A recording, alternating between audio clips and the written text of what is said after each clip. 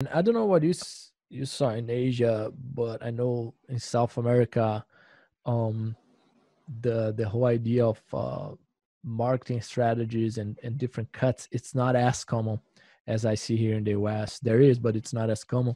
Uh, what do you see about that in in Asia?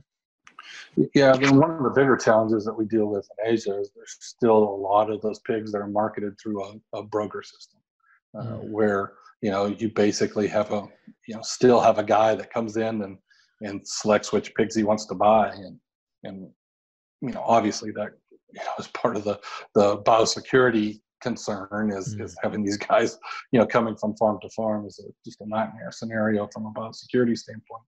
Um, but it also uh, you know kind of obscures the the need to to have those animals in the right place at the right time and, and, and get them ready. And so sometimes you have those animals ready and and they can't take them because you know they just have a certain quota that they need. And so um, you know that gets to be a challenge because it's really out of the control of the producer in some cases. Um, and so that's something we have to we have to focus on. And I, that's changing and i think that's changing faster uh, because of, of the focus on biosecurity, um, the focus on you know kind of modernizing those supply chains, and so I see that over the next five years is a big opportunity for Asia because in the past they've not thought about that at all because it was largely out of their control. But that is you know as things modernize and, and things happen quickly. Um, that's going to become very important, and so that's an area where there's not a lot of expertise, and and there's going to be some some real needs there over the next next uh, couple of years uh, to for you know them to you know for the first time in some cases focusing on on how to maximize that.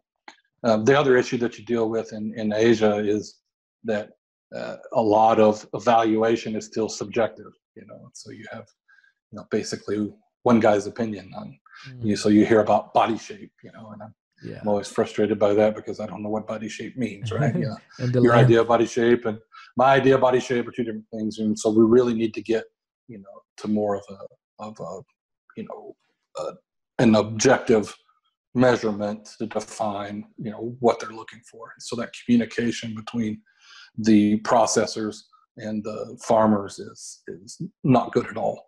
Um, we always, we're maybe a little bit frustrated with even in the West where there's some disconnects there between the messages that the packer is sending the the producer, but um, it's nothing compared to Asia where there's basically just almost no communication at all. Um, and so as that changes, that's another big opportunity. Yeah.